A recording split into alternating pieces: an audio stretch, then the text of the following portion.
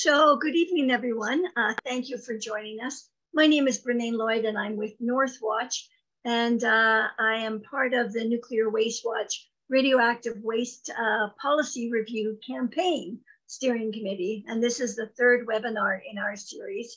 And uh, we're very uh, pleased to welcome author Paul McKay uh, to talk about his book, the updated edition of Atomic Accomplice. And we also have chapter author Susan O'Donnell and uh, Angela Bischoff from Ontario Clean Air Alliance to talk about one of the SMRs being promoted in Canada right now. So I'm joining you from the Robinson Huron Treaty Territory, from the overlapping territory of Nipissing First Nation and Kevawek, uh, Algonquin unceded territories. And I welcome everyone to put their land acknowledgements and uh, any other greetings in the chat function. And I'm going to now uh, hand it over to um, Paul McKay, uh, who is our first speaker tonight. So let me just stop the share. And uh, Paul, over to you. Okay, you're going to have to instruct me. Do I have press share screen or the little blue button? um, the small green button with an arrow, the share screen. So uh, use share screen and then you'll have a choice of screens to choose and choose your PowerPoint presentation.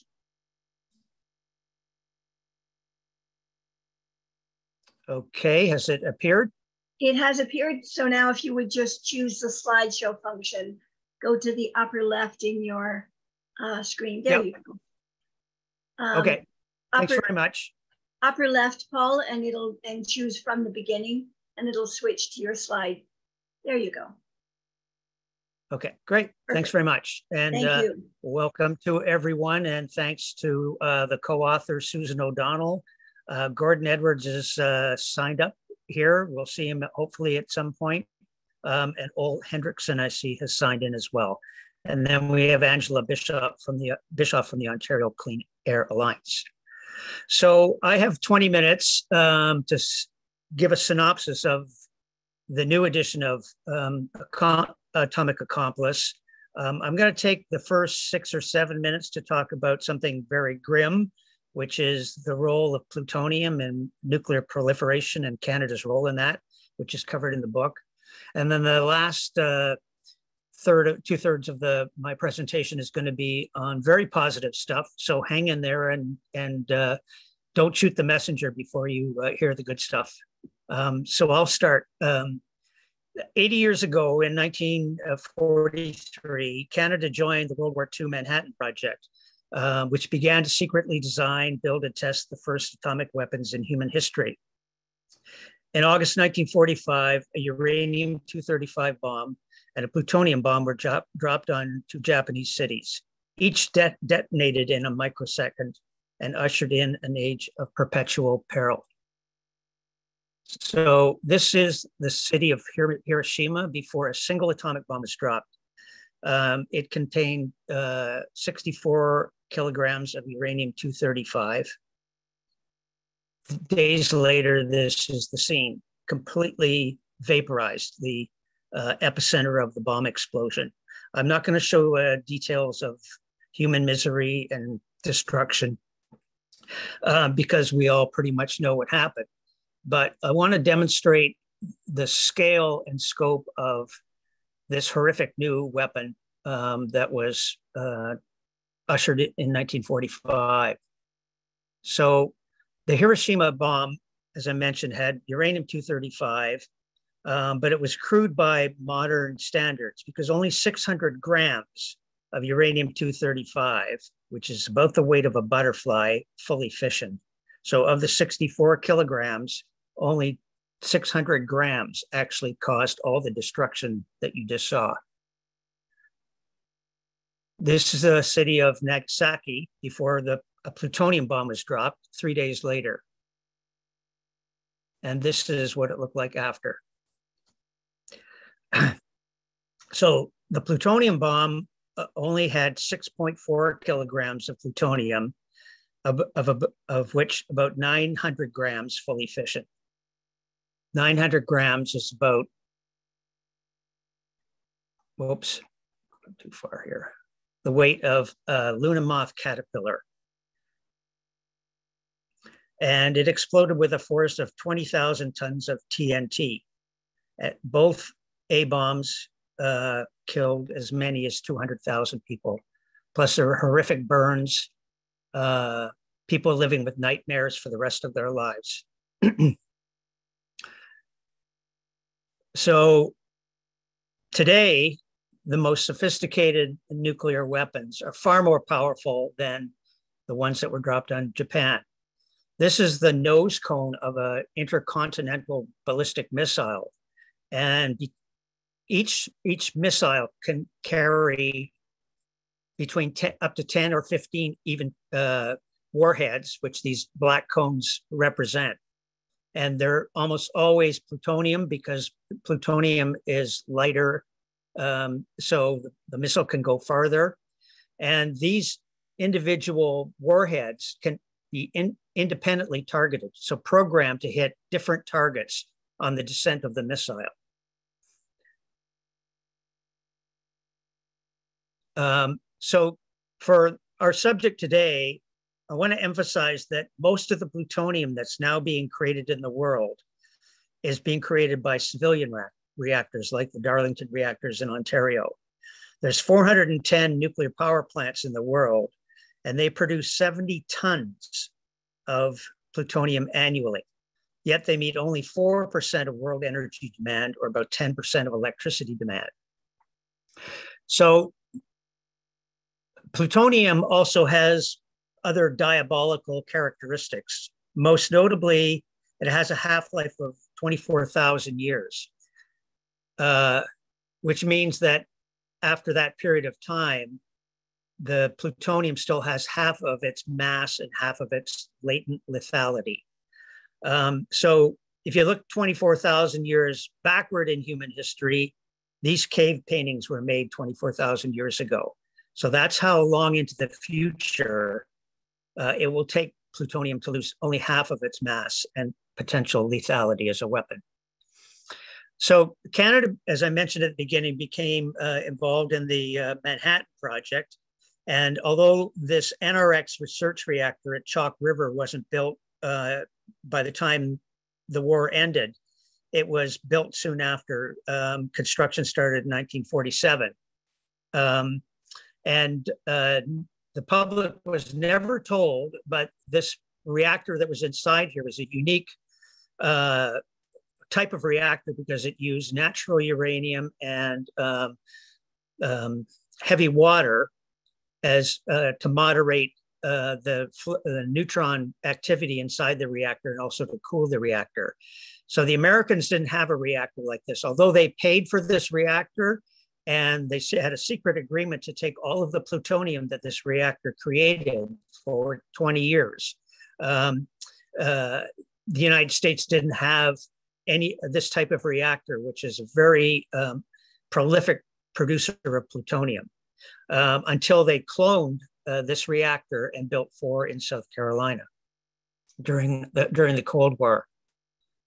So, the, as I mentioned, the, the public was not told about any of this, um, and but there was heavy uh, guard, guards at the peaceful civilian research site up in Chalk River, and the reason was because whoops, uh, Canada sent the plutonium that was created in the reactor. It was in hot fuel bundles, and they sent the hot fuel bundles down to South Carolina, where the U.S. Defense Department would, would extracted uh, them and used the plutonium for the uh, hydrogen bomb program. Um, this is the only picture I've ever been able to find of the interior of a, a plutonium reprocessing plant. This is called a canyon, and you can see how far it goes into the distance. And what happens is the hot fuel bundles are um, opened in um, remote locations so that the radiation can't kill the, the technicians. They're cut up with shears and then dropped into these huge vats where nitric acid and another uh, solvent are used to uh, cook the whole radioactive uh, um, particles or pieces in inside the fuel bundles and separate out the plutonium and the uh, highly enriched uranium, residual highly enriched uranium. So the reason I wanted to show to this is because 250 kilograms of plutonium was sent from Chalk River to this place in South Carolina strictly for military purposes to build hydrogen bombs. So 250 kil- kilograms, and re- remember it's 900 grams that fission in the plutonium bomb at Nagasaki. 6.4 kilograms were actually in that in that bomb. So that gives you an idea of why the Americans were interested in uh, paying for the Chalk River uh, NRX reactor because they got the, the plutonium from it. So finally, as I mentioned, I didn't want to show horrific scenes of human tragedy at Hiroshima or Nagasaki, but this is one of the victims. Her name was uh, Sadako Sasaki, and uh, she was born in 1943. So she was two when the bomb was dropped on Hiroshima. And um, by all accounts, she put up a brave battle. Um, this is the hospital where she was at the end. And her last uh, mission was inspired by an ancient Japanese legend uh, that said, if you can make a thousand peace cranes, then um, you can uh, uh bring happiness. And uh, so she actually did that. Um, and uh, some of her school classmates uh, helped uh, with those peace cranes as well. Okay, so onto the onto the good green stuff. So um, Ontario actually was the world leader, the world leader in renewable power um, a century ago, when um, the Ontario government uh, created a public utility and borrowed the money to build the Adam Beck uh, generating station at Niagara Falls. So this is a remarkable uh, achievement uh, because it's still operating flawlessly 100 years later, flawlessly. Um, and it's a very simple, rugged, but elegant design. So Lake Erie is above the falls, kind of around the corner here. And they built a concrete wall underneath the water as it was flowing to go over the falls on an angle and diverted the water into this canal up here. And the water fell down these penstocks, and then turbines were in these buildings here, and the water turned the turbines, and you can see the outflow from the from the power plants here. So that's a hundred years of green power from this one site with no dam built. So it doesn't get any better than that. And there's been some some upgrades one ingenious one. So the Canadian government has an, uh, an agreement with the uh, American federal government to divide the amount of water going over the falls. There's an American Falls, and on the Canadian side, there's the Horseshoe Falls. So they, they both agreed, this was in 1906 under the Boundary Water Boundary Waters Act, to uh, let a, a, a certain amount of water flow over the falls during the daytime for tourism. And then at night, they can actually take more because the tourists, most tourists aren't looking at the falls at that time. So that's pretty ingenious. But they also figured a way to put reversible pumps in one of these generating stations. And the water that uh, flowed over the falls comes down here, and then it, they have reverse turbines and they can pump the water up into a reservoir that goes, you can't see it, up there. And then they let it fall back down the turbines when there's peak demand. So this whole thing um, op can operate as a giant battery. So this um, started putting in power into the grid in 1921. So it's just over 100 years old. And with the recent upgrades, um, it probably will last another 100 years. And it was called uh, white coal. Hydropower was called white coal at the time because uh, Ontario depended almost completely on coal imported from Pennsylvania before this uh, power plant was built. And the coal industry was run by these three uh, moguls who were widely reviled by everybody because they had bad service, high rates, and the coal plants were filthy. Um, so that put us on the map in terms of renewable power. Whoops. Um, so now I have some uh, trick, trick questions here for you. Which of the following images do not does not fit the pattern? I'll go through them pretty quickly.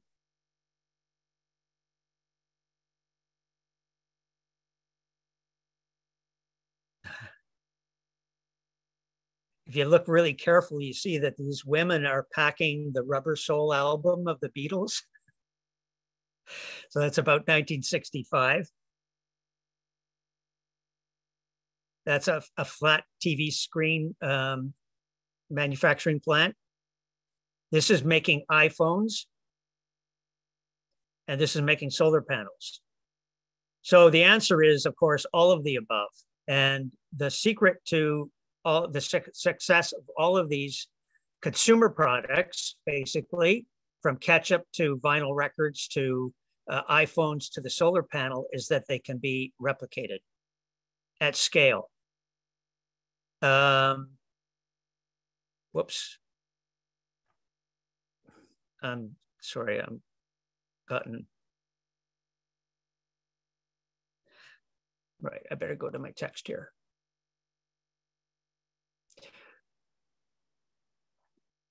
so once the uh, hydro plant was built at Niagara, it took 150 years for Canada to um, build all of the generating capacity that exists now. Some was retired of, because of age, et cetera.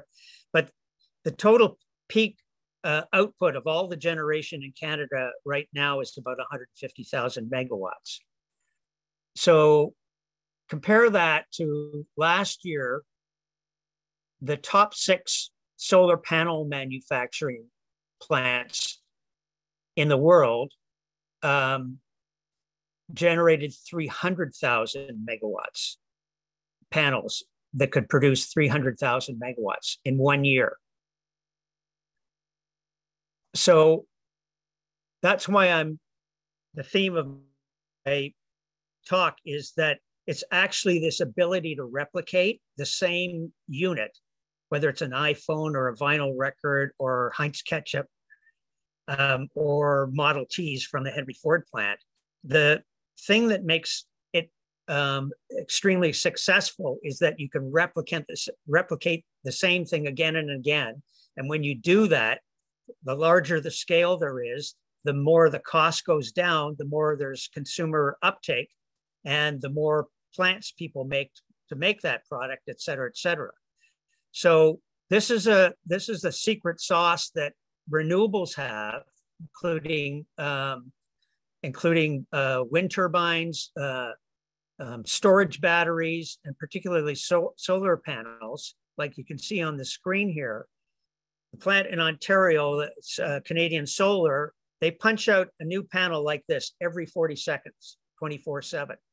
So that explains how um, the, the volume of new uh, generating capacity can be 300,000 just in the top solar six solar companies worldwide. Um, there's more that are in lower tiers. But the same thing can happen with, and is happening with wind turbines. So the, the great news in terms of uh, the campaign to end uh, nuclear power as a, as a substitute or a a way to decarbonize um, is that nuclear power and natural gas plants and certain coal plants, et cetera, they cannot compete whatsoever with um, these technologies that can be replicated all over the world and, in record time and, and be um, constructed in record time. So typically, from the time an order is placed, um, solar, pan- solar panels can be made at a speed of 40 seconds per per unit, and they can be uh, installed and be hooked up and delivering power to the grid within about two years. That's that's a typical um, uh, construction time. So compare that to a nuclear power plant when it takes at least 12 to 15 years to get uh, a project up and running in, in, recent history in the United States and and, and in Europe um, with huge co- cost overruns, et cetera. Um, and, and then the problem, as I mentioned at the beginning, is that um, each reactor, no matter where it's made or what, what model it is, produces plutonium. So combined, the, the um, the fleet in the world right now produces about 70 tons of plutonium uh, per year. Um, if countries tried to double the number of nuclear power plants in the world to combat climate change, they would be making 140 tons of uh, plutonium per year. And we don't need another gram of plutonium in, in the human future. Um, so that claims from the nuclear industry that nuclear power is a safe, clean, cheap, and timely uh, remedy for climate change is is ludicrous, and it's it can't be substantiated by reality or any uh, evidence. So, um, all of these uh, technologies can be mass produced and they can be put on the same site. Like this is a real this is a real site. Um, um, they're called trifecta sites. And with the recent um, Biden administration budget support for renewables, and to a lesser extent, the budget that was announced yesterday in Canada, but also in places like Europe are trying to match the United States and Australia. Investment money is already pouring big time into these types of these types of projects.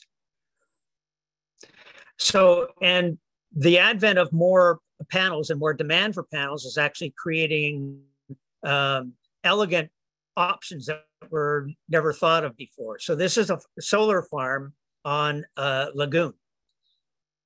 The fish can still feed under it. There's light uh, that goes goes around and through. They can swim away from it, etc. Another option is a solar farm behind a hydro dam on the reservoir that's created by the dam. Um, this is um, agrovoltaics, photovoltaics and agriculture. So um, this maximizes land use uh, for producing uh, food, uh, but also generates power uh, for lighting, et cetera, in the greenhouse, but shade as well, which is very important. And the surplus power can be put into the grid. Um, cows create manure that has methane. So these are uh, meth- this is a methane digester, which takes the manure and traps the methane gas and puts it through a turbine and creates electricity to send into the grid. Uh, this is this is a solar farm and a sheep farm. The sheep love the shade, they love the grass. The solar uh, farm owner loves the fact that the grass is being mowed by sheep, not, um, and they don't have to pay people to go around with uh, huge mowing machines. Um, this sorry, this is not a very good sharp picture, but um, pollinators love uh, solar parks. Um, this is an interesting uh, solar farm. It's actually solar panels going way off into the distance on a irrigation canal. So they it provides power to pump uh, water into the uh, adjacent fields, but equally important, the solar panels reduce the evaporation on the on the irrigation canal. And water, this is in India, so water is extremely precious. Um, also in India, there's 8 million diesel pumps right now that um, uh, rural farmers like this uh, use to pump water uh, to their fields. Uh, they're expensive, they're dirty, um, and they're hard to move, etc. So a solar panel with a, a DC pump is uh, is the best answer. So eight million of these units could be put in um, in India or the Philippines or Pakistan or Brazil or wherever. Uh, this is a um, wind and solar farm in Senegal in Africa. So an important point in terms of um, a, a, just transition is that this kind of technology can be used to um, alleviate poverty in third world countries. Um, it, it, it, so happens that the best places on the planet for solar generation. The most irradiation uh, per square meter is in is where most of the world's poor people live. So these kinds of projects can actually uh, help develop rural grids um, in in some of the poorest areas in the world. This is a plant in China that's mass producing wind turbines. These are for uh, ocean um, wind farms, offshore ocean wind farms, and the, the turbines are absolutely massive. They can, uh, one turbine can uh, provide enough power for 138,000 homes. The turbines can also be placed uh, offshore like this, and the electricity that's generated by the wind farm can be used to make hydrogen, green, completely pure green hydrogen. This is an electrolyzer. So the, the current goes through this uh, electrolyzer, electric current splits the hydrogen and the oxygen atoms, and they, they can be sent in separate streams. So the hydrogen can be uh, located near a, uh, a cargo ship dock so that instead of using dirty bunker C fuel to ply the oceans, um, it can the engine engine can be converted to hydrogen uh, with no emissions, or uh, the hydrogen can be a um, pipeline to shore for industrial uses. And a, it's happening in Rotterdam, for instance, in in the Netherlands now. Um, and the oxygen can actually be uh, separated and used uh, and used as a medical gas or for some specialized industrial purposes. Again, de decarbonizing uh, down the way. So this is a, a combined uh, wind and solar and uh, battery storage project in Australia. Um, and as I, as I mentioned, more on the way because of favorable tax uh, upgrades or uh, improvements in recent legislation in the United States and Europe. Um, we'll see in Canada, uh, but Australia as well. This is the largest train station in China, um, and it's uh, a vast solar array on top. Uh, buildings can be uh, have solar integrated right into the building, either when it's built, which is best, or it can be backfitted onto existing buildings. And you can see they have the, the panel efficiency has doubled, almost doubled in the last 10 years through different uh, and better chemistries, et cetera. Um, and uh, they, they've also can also make them flexible now. So they can put, be, be put on buildings even with curves like this sorry for the uh, fuzzy uh, picture here. So existing solar farms or existing wind farms or exist an existing solar farm and wind farm can easily be backfitted with um, uh, battery storage that can come in a large shipping container like we saw earlier. Now the batteries are inside the shipping containers, but the batteries themselves are the same batteries they're just packed differently that are that drive a Tesla, for instance, or a Chevrolet Bolt, um, or are used in uh, uh, digital cameras. Like it's the same kind of battery cell that's about this long with with lithium inside. An interesting uh, aspect of the lithium equation is that although there's certainly environmental uh, impacts with lithium mining, if the lithium is put into a car battery like a Tesla, the the the battery de, um, degrades over time with use, like any battery does. Uh, but when the batteries are taken out of a Tesla or a Chevrolet Volt or any uh, electric vehicle, they still have 80% of the power left in the lithium.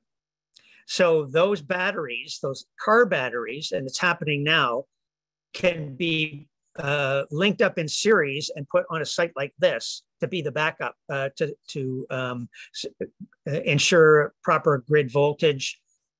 When the wind doesn't blow, but the solar is shining, they can even that out. When the when the wind is blowing and the solar, the sun's gone down, they can even that out.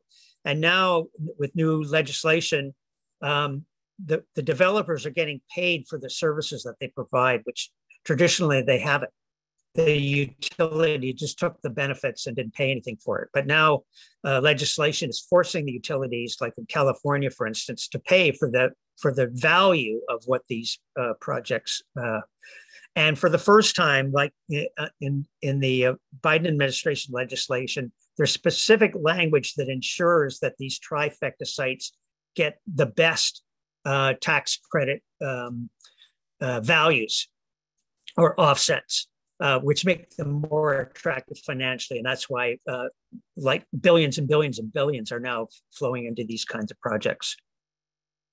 Okay, there's Greta way down in the in the front there, uh, my heroine. Um, so the, the last thought I want to leave you with is climate change is prevent, presenting an awful perspective for us and our children and our grandchildren. And it's tempting to, I think, psychologically not want to have another um, existential threat to think about or on your other shoulder or think about it's in your future or your children's future. But the plutonium issue is one we can't ignore. And it comes with every reactor, no matter what the industry says, it comes with every reactor and it's got a half life of 24,000 years. So think about what's happened in the last 100 years in Russia, for instance. There was, or a little more than 100 years, there was a, a czar then there was a fledgling democracy uh, under Kerensky that lasted less than a year. Then there was the Bolshevik resol- uh, revolution. Uh, then Lenin died. Then we had Stalin. Um, and now we've got Putin. So just in the space of over 120 years, we've had these violent oscillations in, in how the Soviet Union or Russia operates. And they have the most nuclear weapons in the world. And just this week, Vladimir Putin has said he's going to put tactical nuclear weapons that almost certainly contain uh, are, plutonium bombs, move them into Belarus and point them to uh, Europe. Um, he's the one who illegally and brutally invaded the Ukraine, and uh, he's as dangerous a, a, human being as as imaginable. So when we think about nuclear power, uh, we need to keep our eye on the ball that plutonium comes with it, and it's a and it's a built-in li- liability. And uh, for that reason alone, there's other reasons like nuclear safety, what to do with uh, regular nuclear waste, the radiological um, harm uh, and dangers that come with plutonium and other uh, radionuclides, which Gordon can speak to. Um, all these issues um, are there, but the one in the background that the nuclear industry never wants to talk about is the issue of the plutonium um, and the link to proliferation. So I hope the last part of the presentation has inspired you a little bit and and uh, made you feel a little bit more upbeat about um, the the battles that we have to continue continue fighting. But um, hope is on the horizon. Um, it's basically already here. Uh, we don't hear about it so much because the media tends to cover just uh, maybe a renewable project in their coverage area, but we don't get a satellite view of what's happening on the globe. And it's great stuff. Like it's it's there's nothing speculative about it. When when six panel makers are making 300,000 uh, megawatts worth of panels every year, and they're going to make more this year than they're 300,000 the year after because they're already booked five years into the future because it's the cheapest, cleanest, safest, fastest way to uh, produce elect new electricity. Anyway, I'll leave it with that. Thanks very much. Great. Thanks very much, Paul. That was, uh, took us on a roller coaster from the lows of nuclear power to the highs of uh, a, a renewable alternative and then a little bit of a dip back into the low again. Thanks very much. And uh, that was really, really excellent, very helpful. I'm going to turn it over now to Susan O'Donnell. Uh, so uh, Paul is the author of Atomic Accomplice. And in the 2023 edition, there were six guest authors, uh, wrote additional and new chapters. And Susan O'Donnell is uh, one of those chapter authors. And uh, I'm going to turn it over now to Susan. Susan. And I think Susan is not going to use slides, so I'm going to change the view if I can. Um, go ahead, Susan. Great. Thanks a lot, Brennain. So I live in Fredericton. Um, I'm an adjunct professor at the University of New Brunswick and St. Thomas University, and I'm also one of the spokespersons uh, in the Coalition for Responsible Energy Development in New Brunswick. And as Brennain said, I'm one of the new um, chapter co-authors. That the piece that Paul just talked about about the green energy um, is one of the new chapters as well. And I co-wrote this chapter, which Paul titled. He gave it the interesting title, whistling past the nuclear graveyard. I co-wrote it with Ole Hendrickson of Concerned Citizens of Renfrew County and area, and Janice Harvey at the Environment and Society program at St. Thomas University. And I was interested, Paul, that you ended up by saying the nuclear industry hates it when we use the word plutonium because Janice and I are running a project at St. Thomas called the Plutonium Project. And we recently invited um, the CEO of Moltex Energy to speak to our class, uh, our students actually, our, our um, as, as research assistants and which he did, which was good for him. But he said, okay, I'll do it, but I hate the name of your project. they do not like us talking about plutonium.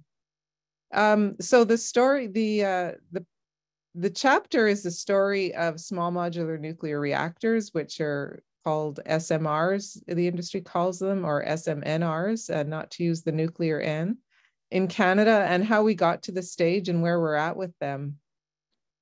And Ole and Janice and Angela, who's with us, and of course, Brennain and Gordon Edwards, who I see answering questions in the Q&A. And so many more are members of a wonderful community of activists across Canada and internationally. And we're sharing information about nuclear energy and supporting each other as we face the nuclear industry, which in some days it feels like uh, the evil empire. I know it's not, but it often feels like what we're up against. Just to give you an example, the last few days have been so hectic.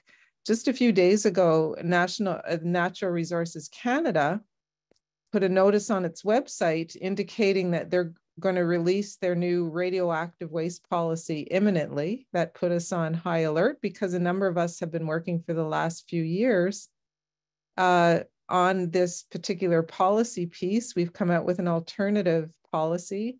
And what we're waiting to find out is if the new policy will approve plutonium reprocessing of used nuclear fuel, which is high level nuclear waste, which was definitely hinted at in the draft policy that came out last year. So that was a, few days ago. And then yesterday, in the morning, there was a news release that SNC Lavalin, who's everyone's favorite Canadian company, um, became a minority shareholder in Moltex, which is a UK startup. It's a small company uh, with an office in St. John, New Brunswick, that openly plans to reprocess used fuel. And then, of course, the budget came out yesterday with tax breaks for uh, plutonium new pro, uh, reprocessing. And so that was kind of a shock because at the moment, plutonium reprocessing is still uh, not permitted in Canada. So that's an interesting one. And then today, just a few hours ago, there was news that came out on CBC that Ontario Power Generation, which is the um, one of the nuclear utilities in Ontario, of course, We'll be visiting New Brunswick and our Point Lepreau nuclear reactor with a view to becoming part owners of our nuclear plant here. And OPG is actually, they uh, gave a few years ago a million dollars to the Moltex company because they're interested in the reprocessing technology. So I'm going to talk about plutonium, but I just want to state clearly, um, Paul already said this, but, but just to be really clear, that our review of peer reviewed research has convinced us and many other people that there's no way that the planned proposed expa uh, expa expansion of nuclear energy in Canada, which at the moment is these small reactors, although the industry is talking now about more CANDU reactors, there's no way that they can contribute in any meaningful way to climate action. And we should care about this. Um, they're way too slow. They may not even work. Uh, they're far too expensive. They're going to suck up billions of dollars of public funds if the industry gets its way. And if they can actually get them to work, um, these small reactors will create another legacy of new kinds of nuclear waste that future generations will be having to deal with and paying to maintain forever. I also want to just make it clear that the nuclear industry and the government are using sales and promotional material, whatever you want to call it, propaganda, whatever, to sell the nuclear dream. And just to remind everybody that the nuclear industry has played a big part in creating the climate crisis by selling the dream that one day we're going to have limitless energy, boundless energy, energy that's going to be too cheap to meter. And we can all just use as much as we want because nuclear energy will eventually come through. And of course, the nuclear industry has had half a century of peddling that dream in Canada to Canadians, and the dream hasn't panned out. And now, the twisted irony is that after playing this big role, after making these claims, which I would argue has helped to create the climate crisis, the nuclear industry is now selling the idea that nuclear energy will help us end the climate crisis, and specifically by building out these small modular reactors. So let's talk about plutonium. Um, the federal budget, as I mentioned, has tax credits and financial incentives for companies engaged in nuclear fuel reprocessing, which is extracting plutonium from used nuclear fuel. And as I mentioned, it's currently, as of today, it's not permitted in Canada. That might change by Friday. So why is this happening now? Um, and I'm hoping that we can get some discussion going around this. Um, all of these activities that I mentioned that are just happening the last few days, but this has been going on for quite a long time. The nuclear industry, which is a collection of companies, at the moment they're mostly American companies, but of course, as I mentioned, we have SNC Lavalin, we have a number of startup companies from the States and some big, more established nuclear companies that have offices in Canada now. And then, of course, we have the big public utilities that are part of the industry. We have NB Power here in New Brunswick, Ontario Power Generation, and Bruce Power in Ontario. And currently in Canada, we only have CANDU reactors that have an end of life coming up. Some of them have been refurbished and some of them are undergoing refurbish refurbishment now, the reactors. And just very, very recently, just in the last couple of months, um, the industry's talking about building more CANDUs, but they haven't been more, they haven't been that successful, the CANDU reactors. And so they, they've come up with this idea, the industry, that these small, what they're calling the small modular reactors are their way to save the industry. But the industry globally is very is moribund. It's quite desperate actually because its share of electricity generation is falling. And for reasons that Paul mentioned and are very well known, um, the private sector is extremely reluctant to invest in the nuclear industry um, because um, nuclear plants are so expensive to build. Um, if there's a nuclear accident anywhere in the world, certainly after the last one that happened in the last big one, uh, the triple meltdown in, in Fukushima in 2012, there was a, um, a slowdown uh, in, in interest in the nuclear. And, and so, and then of course, it's very controversial. There's a lot of people like many on the call, names that I recognize, who are um, actively lobbying, pushing, activating, activating against the nuclear industry. And so it's very controversial. And so the public sector does not like to invest in it. And so basically it, the nuclear industry has to be almost exclusively funded by public dollars. And just as an indication of how desperate the, the nuclear industry is in Canada, right now there's pretty well 12 of these uh, small modular re reactor designs that are all different. They're all actually competing with each other that are under review by our nuclear reg regulator, the Canadian Nuclear Safety Commission. They're very different from the current reactor and re reactors in Canada, the CANDUs. Um, they have different cooling systems, use different kinds of fuel.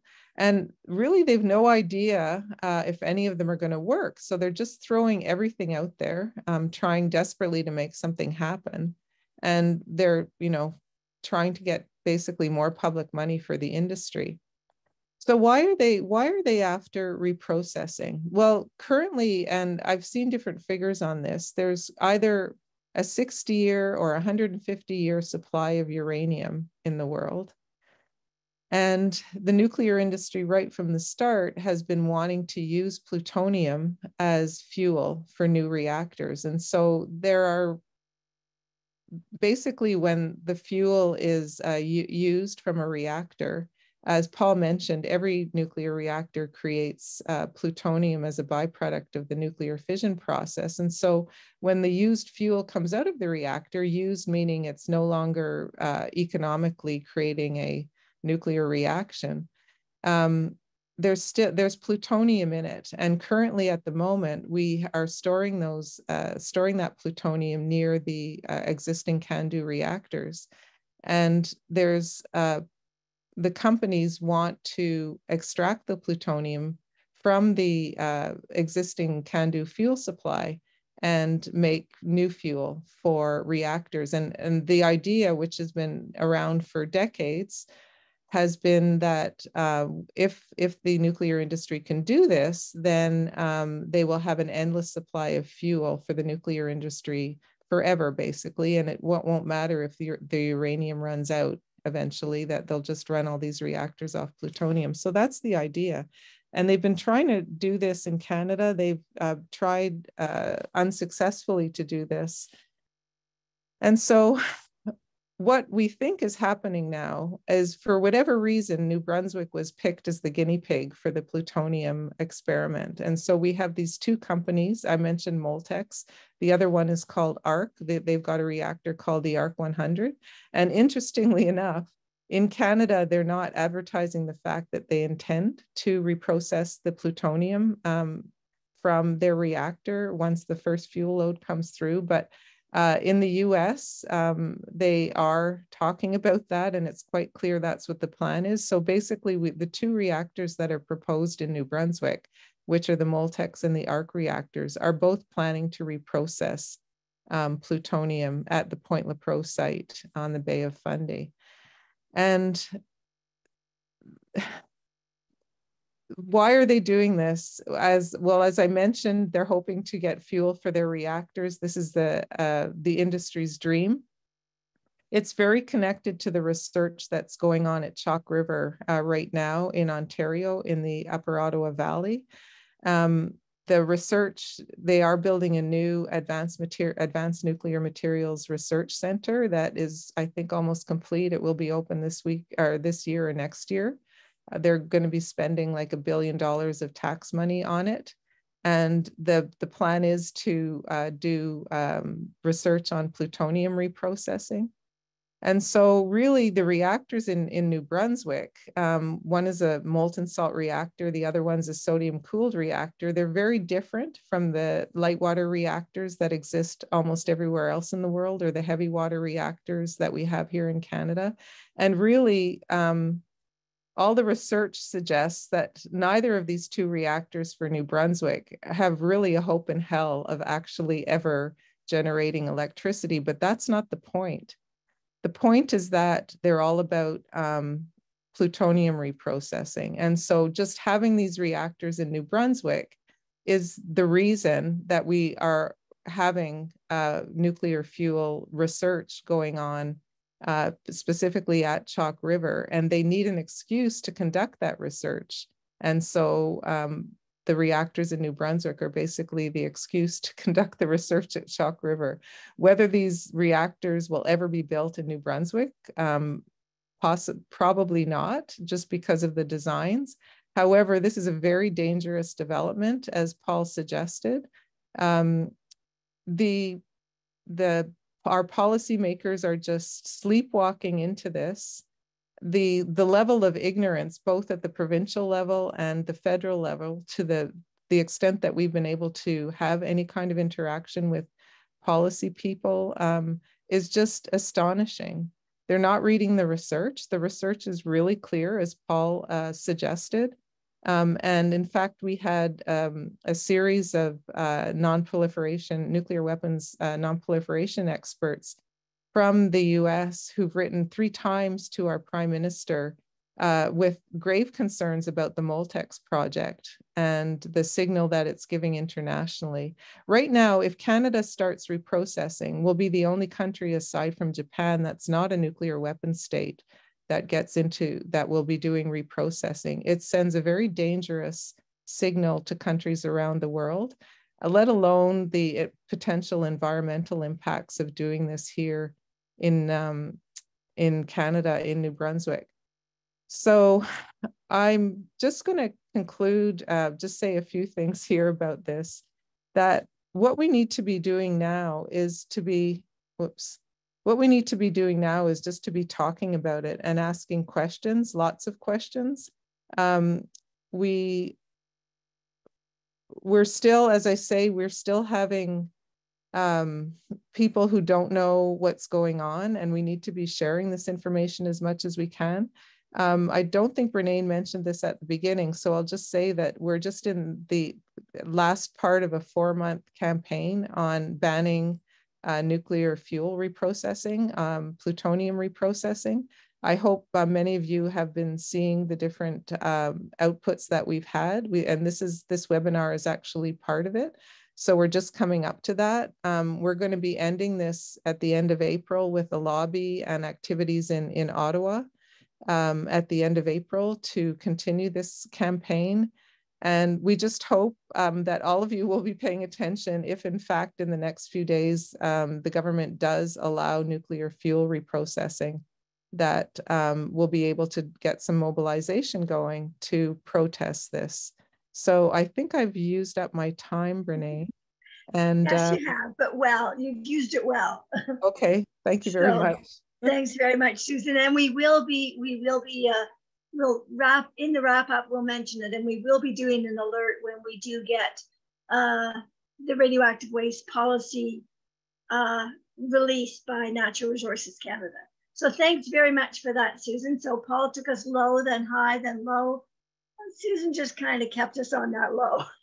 so over to Angela. And Angela, Angela Bishop is a campaigner with the Ontario Clean Air Alliance.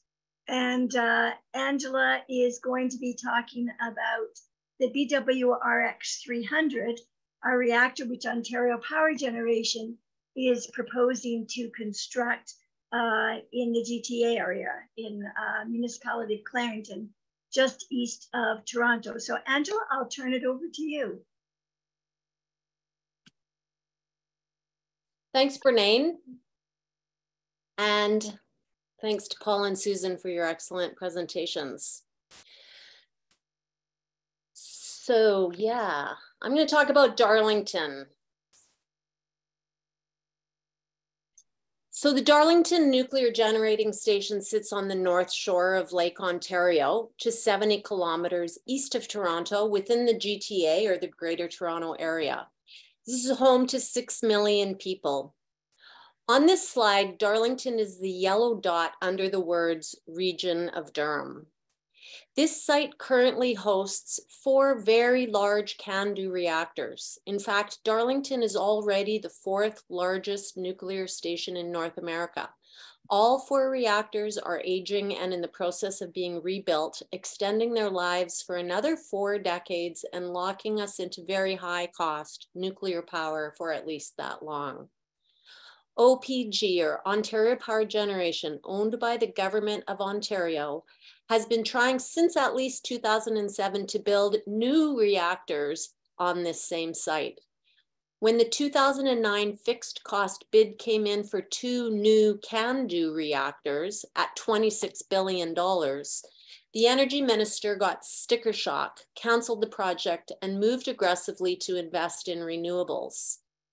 Undeterred, the nuclear industry persisted and in August of 2012, the Canadian Nuclear Safety Commission issued a site preparation license for OPG's Darlington site that included pre-approval for up to four new nuclear reactors of unspecified design.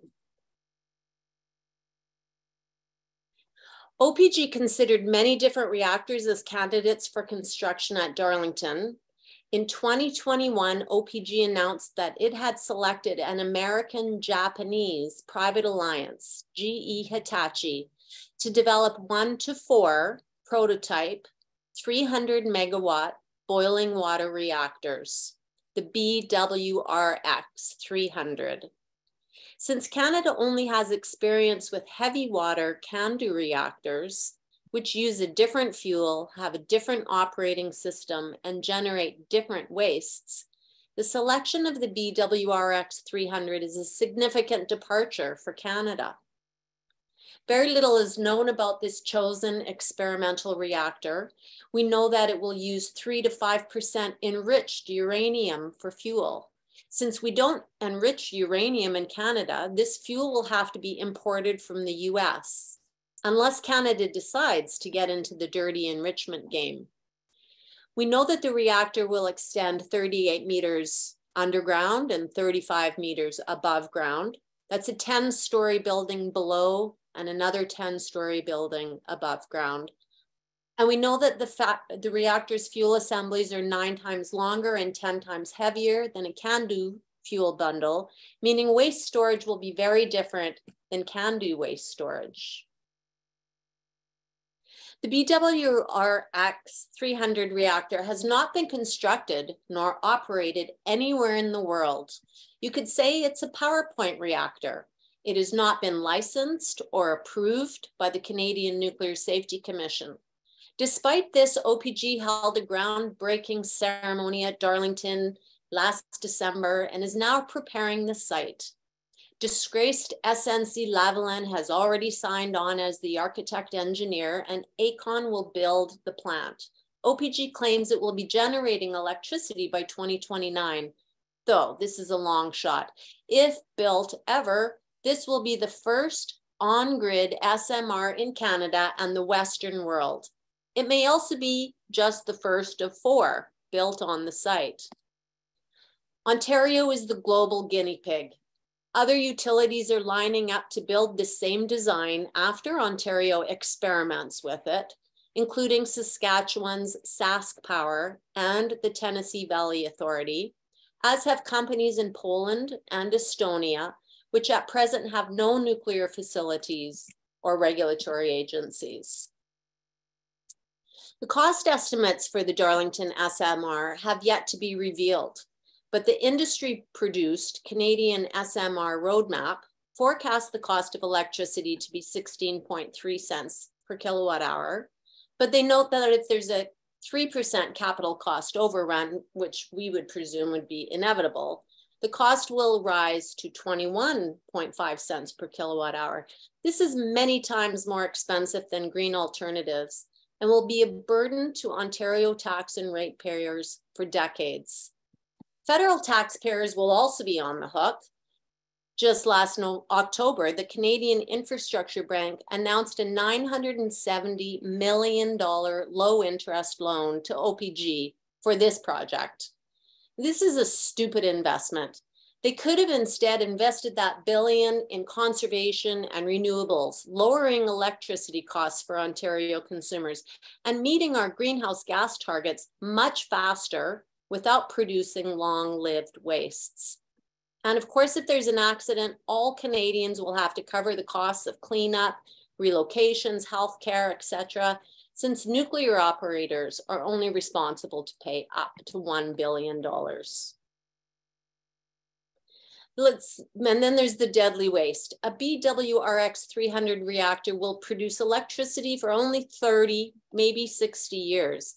Yet according to Canada's Nuclear Waste Management Organization, nuclear waste must be contained and isolated from people and the environment for 1 million years.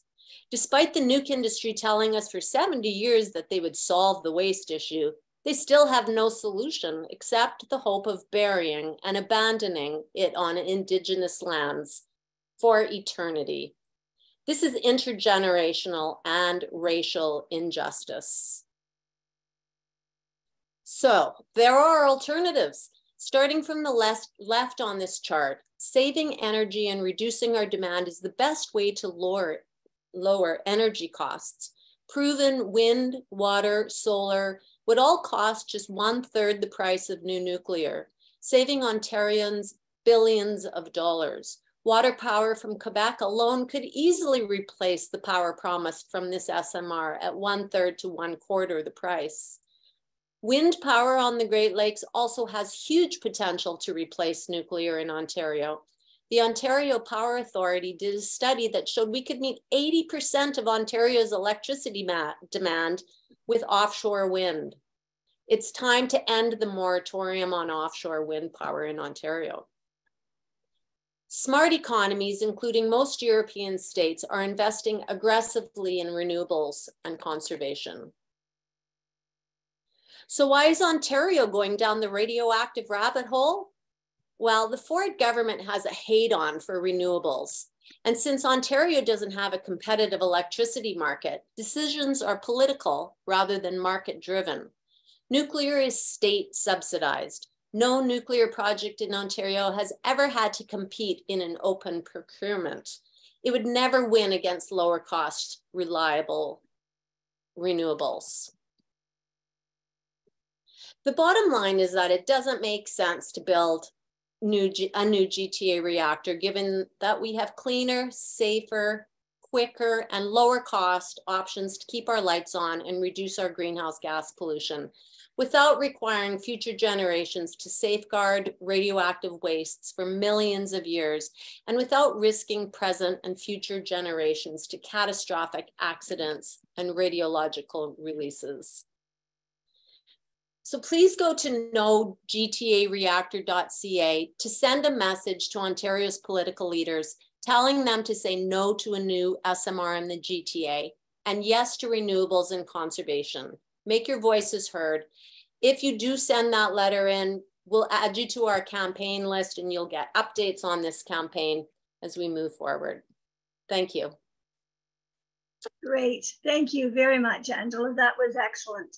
Um, so I'm going to move to Q&A.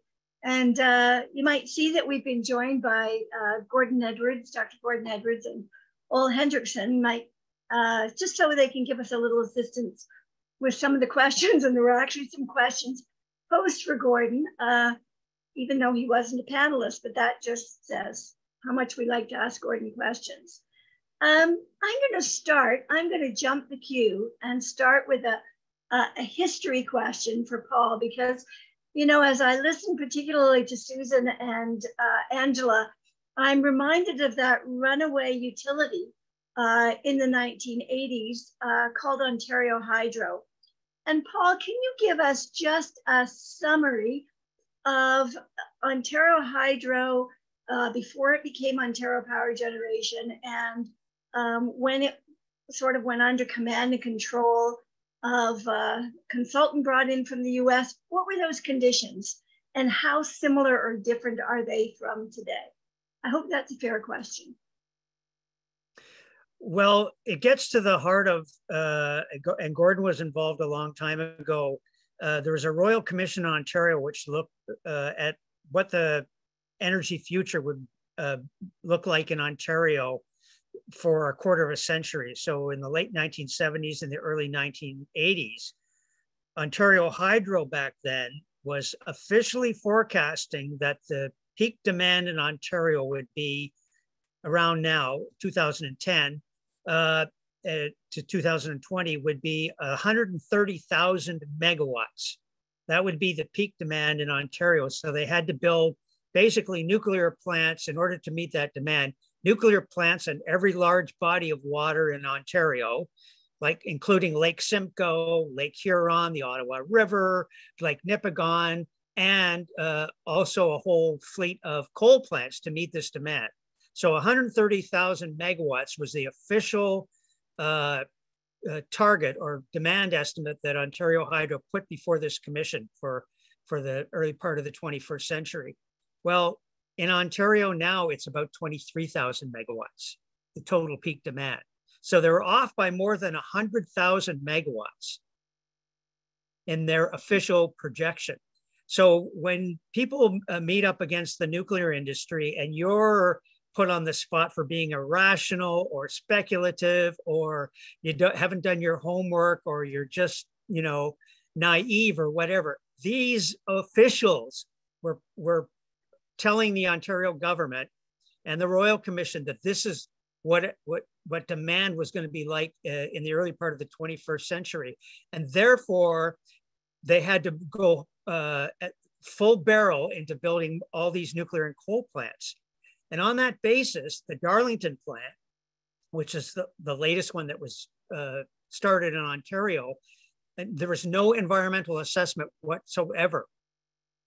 It was exempted from uh, an environmental assessment because it was an emergency that it get that it got built, and the original cost estimate was 3.4 billion dollars, and it ended up with the heavy water uh, uh, load in it ended up being 14 billion dollars. So that was so this uh, runaway train, a nuclear train, uh, ended up bankrupting Ontario Hydro.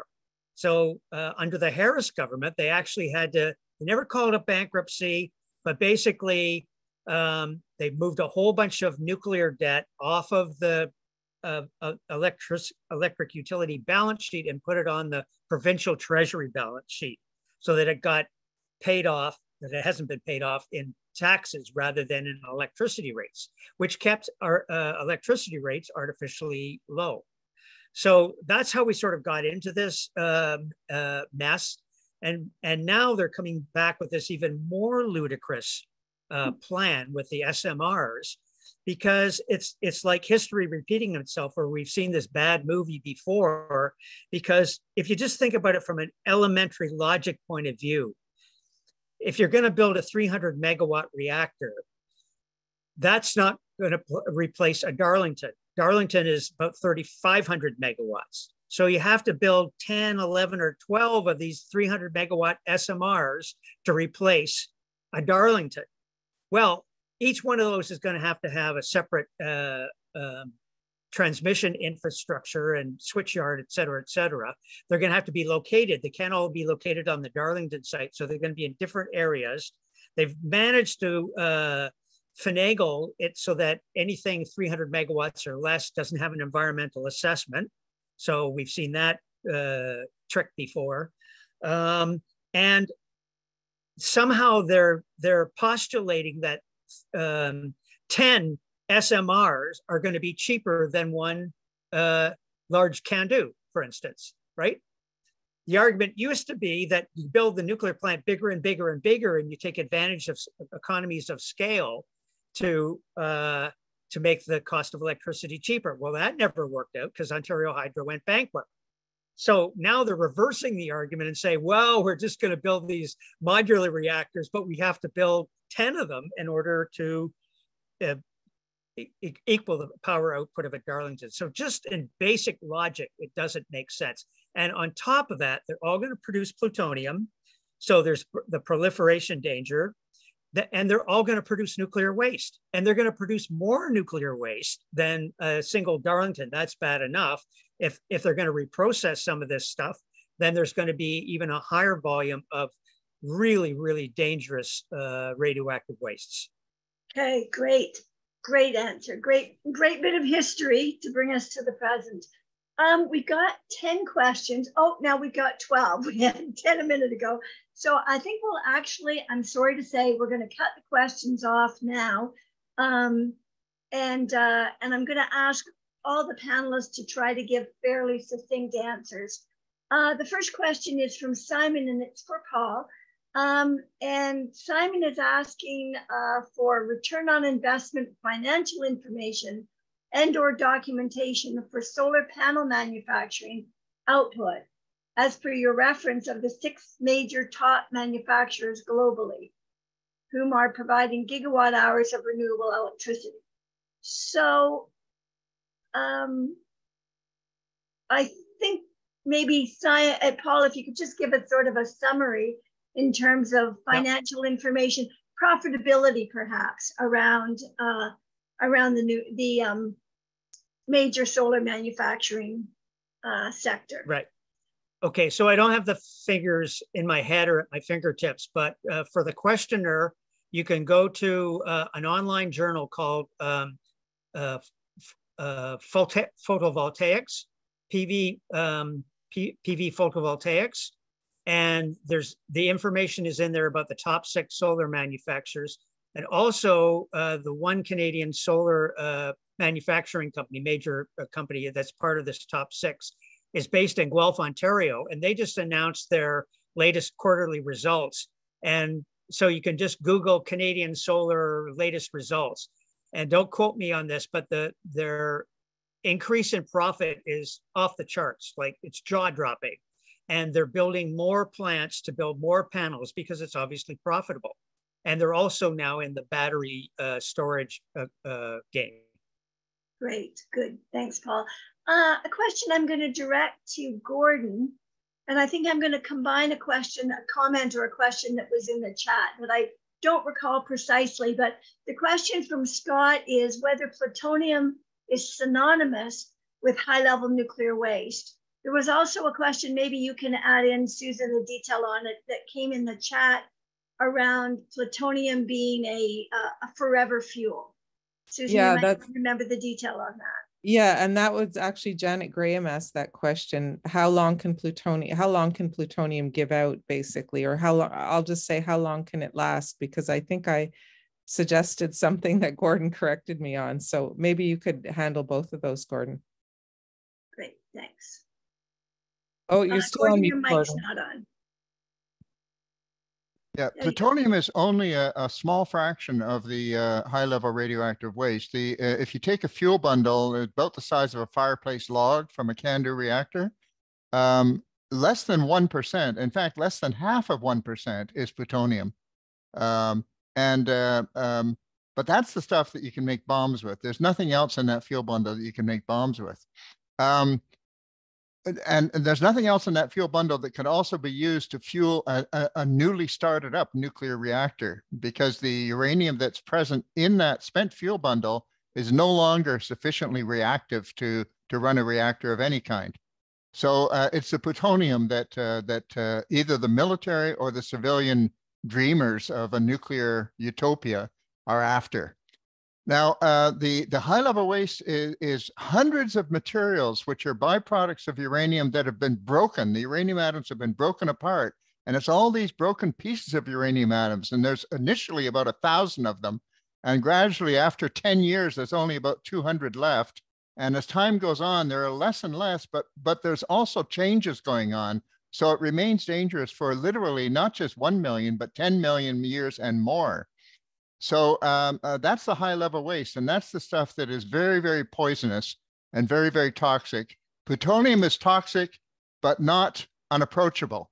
You can actually smuggle plutonium across a border without too much difficulty once it's separated from the other waste.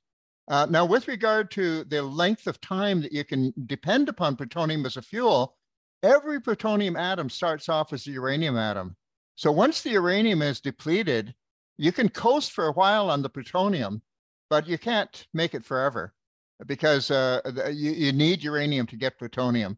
Uh, one of the reasons people talk about thorium as another uh, naturally occurring radioactive element that could be used as a surrogate fuel in the future that would only extend the lifetime of nuclear a little longer because that's also a finite resource. So the idea of infinite fission energy is not on the not on the drawing boards by in anybody's dream book. So that's that's really it. Now the problem with plutonium is that if you try and access it for civilian purposes, that is to use as a fuel, then you make it available commercially. And what and once things are made available commercially, criminals will always get their hands on some of it. And so criminals and terrorists will have access to plutonium once it circulates as a as a commercial commodity. And that means that you can have anybody making their own atomic bombs. And since plutonium can be smuggled across borders once it's separated, uh, you, you can no longer keep track of it at all. So it's a really nightmare situation, and it has grave uh, it has grave significance not only for uh, for the weapons connection, but also for the, uh, uh, the nature of society as a whole. There's a wonderful report issued by a nuclear scientist and nuclear physicist, Sir Brian Flowers, for the UK government back in 1976. And he pointed out that the whole of society would change if plutonium were being circulated in society because everybody would have you'd have to be living in a in a paramilitary state there would have to be basically um, uh, you might say uh, uh, martial, martial law in order to safeguard the plutonium. And that would also allow the nuclear industry to keep secrets from everybody, including the elected representatives. Even the elected re representatives could not be trusted to know what's going on. That's the short story there. Great. Thank you, Gordon. And uh, the next question, another question for Simon, it's directed to Paul, but it, it sort of bridges over some of what Gordon was just talking about in his response about plutonium. Uh, the question is, how did Russian spies get plutonium or nuclear weapon technologies? They did not have this information or technologies before 1950. A question from Simon to Paul or Gordon. Well, I, I can answer part of that. Um, as we mentioned, the uh, NRX reactor was built in Chalk River starting in 1946. It actually went critical in 1947. And one of the people who designed that NRX reactor was a brilliant um, nuclear physicist, theoretical physicist named Bruno Pontecorvo. Um, and he uh, was there until uh, 19, late 1949. And then he went to England to work in uh, the Harwell nuclear um, uh, research uh, place that was developing nuclear weapons for Britain. And then he defected to the Soviet Union. And it turned out that uh, he, or very likely him, uh, provided the blueprints for the NRX reactor to the Russians because Stalin's um, head of secret the secret police, Lavrentiy Beria, uh, was put in charge of scouring North America for atomic bomb secrets during World War II.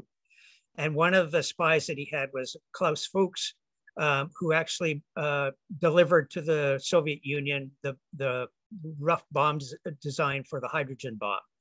Um, and he was the most notorious, but there was several others. There was uh, a British physicist named Alan Nunn May who went to prison in, in England for um, giving the Russian secrets when he was at Chalk River. Um, so that's how the Soviet Union got um, critical information because they were they were way behind the others, uh, behind the Americans, um, and so they sought to get information from whomever they could, could get and wherever they could get it. So they built copies of the NRX in the Soviet Union to make plutonium for their atomic bombs. Their first atomic bomb was detonated in 1949, so four years after Hiroshima and Nagasaki, and it was a plutonium bomb. Mm-hmm. Great, thank you. Yeah, and uh, yes, and uh, sorry. Briefly. Yes, that, that same technology was shared. The, the French and the British were working in a secret lab here in Montreal in the 40s before the dropping of the first atomic bombs. They helped to design the NRX reactor. And when the French went back to France, they carried the design of the NRX with them and they helped Israel to, to build their reactor, which produced the plutonium for their bombs using those same designs for the NRX reactor. We also gave an NRX reactor to India years later, which they used to produce plutonium for their first atomic bomb. And we also sold plutonium to the Americans for, uh, for 20 years, uh, specifically for bomb purposes.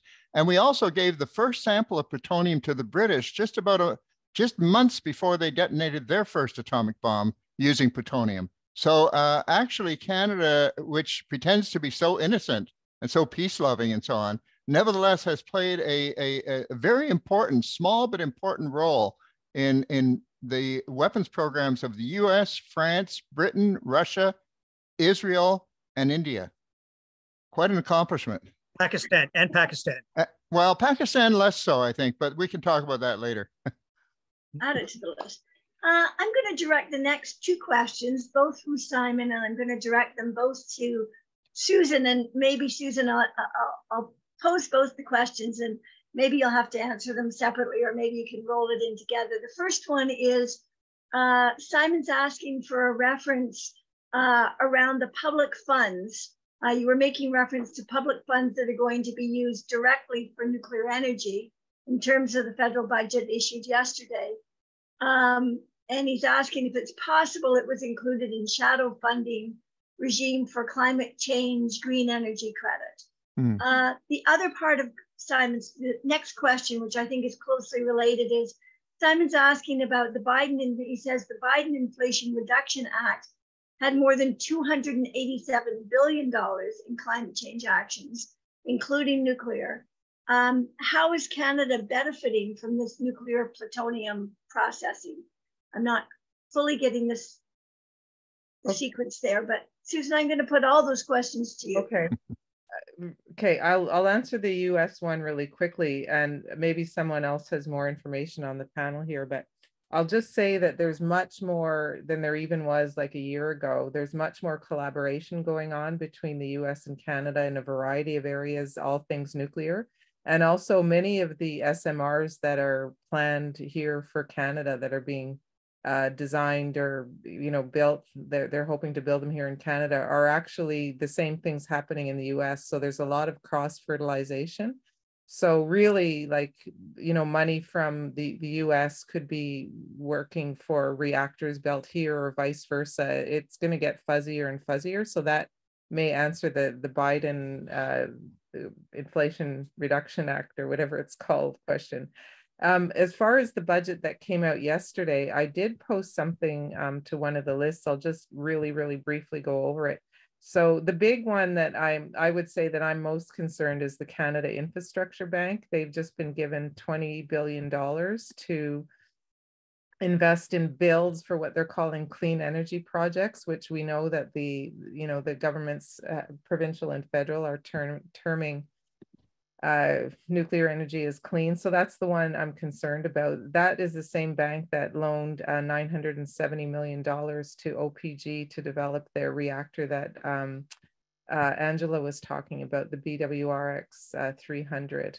And, and then there's also a number of different tax incentives, which are also public funds because they allow uh, government, the companies involved to reduce their taxes. So there's different tax credits, specifically in the case of the tax credits, specifically for uh, re reprocessing technologies. So that's that was uh, my concern.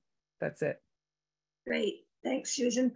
Uh, a question for from Faye uh, about plans for uh, the production of uh, enriched fuel at either the BWXT fuel facility in Peterborough or Cameco's uh, fuel facility in Port Hope. Um, I'll open that, maybe start with Gordon or Paul. And could I ask Gordon, Gold, I think. Could I just ask Gold as well to talk about the what's happening up in Chalk River with the the uh, research center there, maybe as part of the question? Sure. So Gordon, if you can speak to the where you think the enriched fuel will be produced or if it's going to be imported from the US because we currently don't produce it. Well, yeah, it's important to realize that all of the Canadian reactors that we've been using for electricity generation have all used natural uranium, which means uranium that is mined out of the earth and processed into fuel chemically here in Canada. Uh, we don't have any enrichment facilities in Canada. Enrichment is the way of an of increasing the explosive type of uranium, which is uranium 235. And that's a difficult, dangerous, and, and costly technology, which is slow to, to produce weapons grade material. It'll only produce weapons grade material gradually. And so you have a certain amount of warning time as to when it's on its way towards weapons grade. But before it gets to weapons grade, below the 20% level, they can use it as fuel and what we're now facing with these small modular reactors is none of them will operate on natural uranium. They all require either enriched uranium or plutonium as fuel. And uh, also they require a higher degree of enrichment, most of them. That's not true of the BWRX at Darlington, which is more traditional. But a lot of the new ones, which are called fast reactors, if you see the word fast, that's almost a code word for plutonium production. And also it's a code word for highly enriched uranium. You're going to have to go to a much higher level of enrichment. So this is all very concerning. And uh, that means that our fuel fabrication plants here in Canada will undoubtedly start fabricating fuel using this enriched material, which is far more dangerous for the workers and for the nearby population uh, in terms of radiological hazard. There's also one thing about enriched uranium that people should know is that unlike CANDU fuel, which uses natural uranium, in the CANDU fuel, if you put it underground or anywhere on the surface, you can't have uh, what's called a criticality accident. That means a spontaneous nuclear chain reaction. But with enriched fuel, you can. And so enriched fuel, all it requires is ordinary water, just ordinary water, not heavy water. And you can have a spontaneous uh, accidental nuclear chain reaction which can be devastating in its consequences. Great, thanks, Gordon. Ole, can you talk for a moment about the, the, the, the Chalk River connection, the, the new research facility that's uh, got a fuel uh, fabrication uh, element to it. Yeah, Paul showed some excellent pictures from the early history of Chalk River, which was, um, it was basically a World War II plutonium production military facility until 1952 when Atomic Energy of Canada Limited was started by C.D. Howe. Uh, and um, he had a, and then sort of had a dual mission of also looking at civilian reactors as well as plutonium production. So fast forward to um, today when we have old facilities that can do um, plutonium fuel fabrication, hot cells can handle these uh, irradiated um, uh, fuel rods. Um, but they're antiquated and the um, operators, the um, companies that are contracted to operate Chalk River are now wanting to build a, a brand new um, facility with some highly shielded hot cells and some lesser shielded hot cells to, to do, uh, well, plutonium and enriched fuel research basically for, for SMRs. It's called the Advanced Nuclear Materials Research Center. There was a groundbreaking ceremony in December, almost the same time as the one for the BWRX. And, um, but it's going to take a long time I think to uh, actually, it's a very complex project to, to try to build this. And the money isn't fully appropriated. It would come from uh, taxpayers. So we need to keep an eye on, on uh, Atomic Energy of Canada Limited and Canadian Nuclear Laboratories, their contractor, their private con owned contractor that's uh, trying to build this facility with tax dollars. Great, thanks very much, Joel. Um, next question is from Nancy, and it's a question to Paul she's wondering about uh, information source for the amount of plutonium sent to the US hidden from the public for 20 years post World War II. Might be a very specific um, reference we can follow up. Yeah, I don't have it off the top of my head, uh, but it's there's no doubt that that's the amount. Um, it was actually reported by the U.S. Department of Energy, which ran the Savannah River plant, the uh, reprocessing plant that I showed earlier in my presentation. So they're they're quite open about it now because it's past history as far as they're concerned. Um, they're more uh, focused now on the contamination at the site, not just from the Chalk River plutonium, but from other, you know, many other sources during the height of the uh, uh hydrogen bomb program that they had there. but I, I, can send I can send a citation to you uh, at Northwatch Brennain, and then the person who asked the question can uh, ask you for it.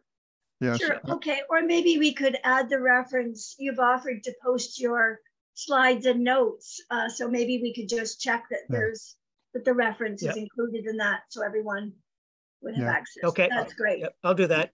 Good. We have a we have a letter on the CCNR website from the U.S. Department of Energy acknowledging specifically the 250 kilograms of plutonium that was sold to the Americans for military purposes, and I can send that reference easily to to you.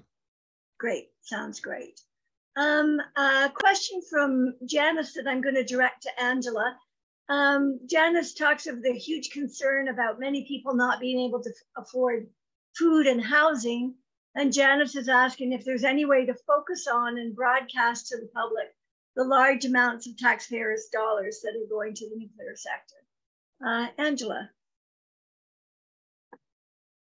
Janice, any ideas you have to share with us? Like we've been focusing on the economics of, you know, the high costs associated with nuclear since we started campaigning on this, which is, you know, very directly 2008 and prior as well. But I was hired in 2008 and we've, you know, our lead is, our chair is Jack Gibbons, who is uh, an economist, and he puts everything into dollar figures. And you would think, especially with conservative government, we would make gains.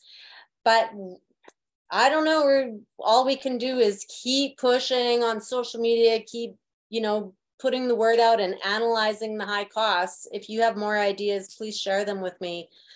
But yeah, that's been our strategy all along, and we're still grappling with that. Great, thanks, Angela. And Gordon wants to add to this, yeah. and then we'll go to our last question, which is to Paul. I, I just want to say that part of the problem here is that with regard to nuclear policy and energy policy, the Canadian government is totally unequipped to uh, deal in a rational way with this We don't have agencies that can do independent scrutiny. And the result is that the politicians are being suckered in by basically uh, um, uh, PR uh, talk, which is going to cost billions and billions of dollars more than it would if they invested in alternate strategies.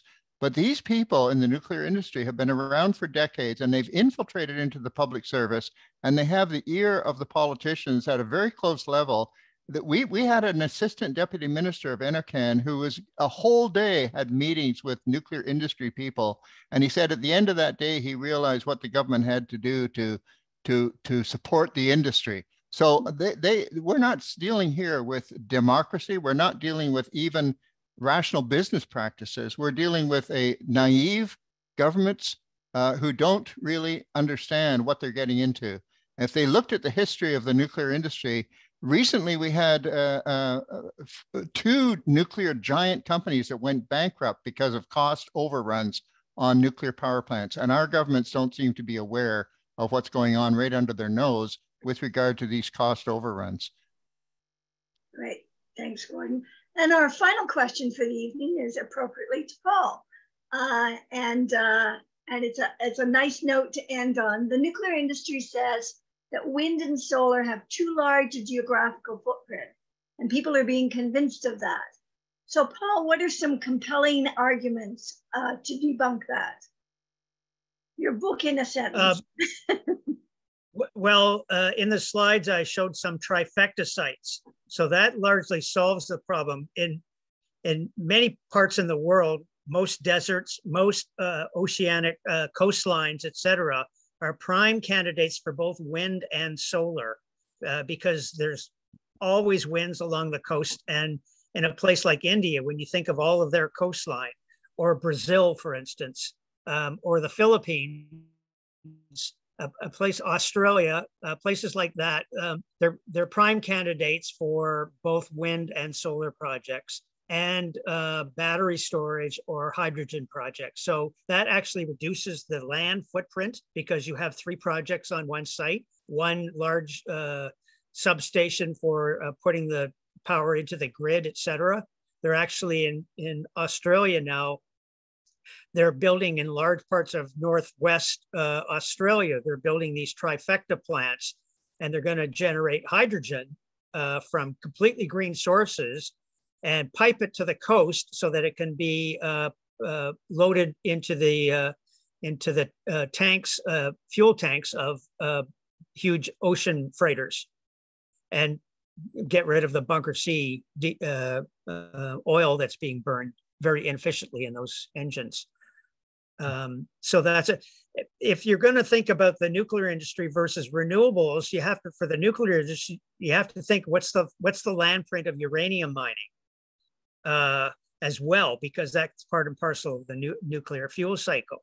Um, so yes, uh, the reactors themselves have a relatively low uh, land footprint, um, but you have to think about um, the uranium part of that as well. But you also have to think, are you going to pay a bit of a penalty in terms of uh, uh, a land footprint or um, versus um, safety and versus the, the specter of plutonium being doubled, uh, as some uh, nuclear advocates are are suggesting should happen could, should happen globally.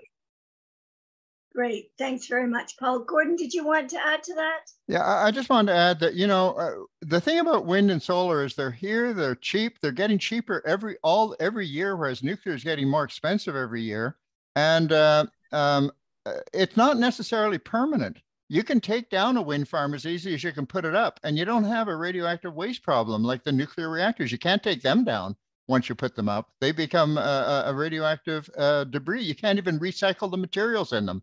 So um, um I, I, look forward in the future to uh, developing real uh, cost-effective geothermal energy. Geothermal energy, the, the energy from the core of the earth uh, is already heating cities in Iceland and other parts of the world and once we can tap into geothermal energy, it's 24 seven, it's not interruptible, it's not intermittent.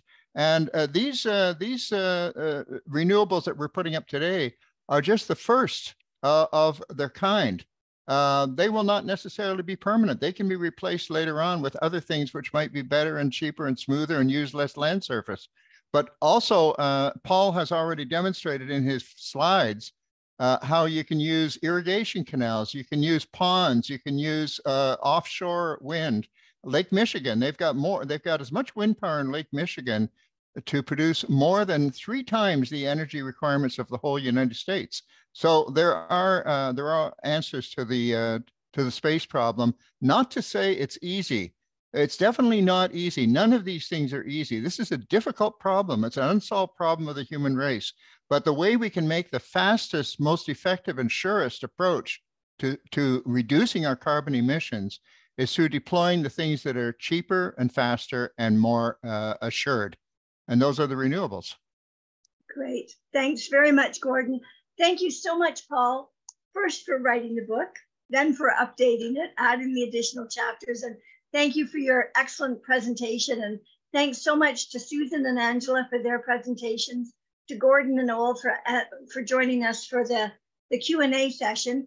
I just want to give a brief reminder. Susan mentioned that we have been uh, running a campaign for the last few months focused on getting a ban on reprocessing in Canada. Uh, and if you haven't done so yet, if you could go to reprocessing.ca, close to the top of the page, you'll see a place to link, click on an action alert, and you can use that to send a message to the Prime Minister and other cabinet members uh, saying uh, we want a ban on reprocessing immediately. Um, we are expecting uh, literally any day uh, the government final response, final uh, policy that is the output of two and a half years of our work uh, to, uh, to, to drive a radioactive waste policy, which is accountable and responsible. We're not sure we're going to get that, uh, but we are sure we're going to reply. We're certainly going to reply. So we will, if you're not on the Nuclear Waste Watch uh, email list now, I will add those who were on the webinar this evening and you will get an update uh, shortly after the policy is posted. We'll get word out that it's that it's been posted and then we're going to do a fairly rapid turnaround analysis uh, of that. And so we'll be asking you to join us in responding to that policy uh, when it is available. So thank you all very much to our panelists, to our attendees, um, and uh, we'll uh, see you next time. Thanks very much. Reprocessing.ca, that's the website. Thank you all. Bye. Have a nice evening. Thank you, Paul. Good, good to see everyone. Bye, Paul. Thanks Thank all. you.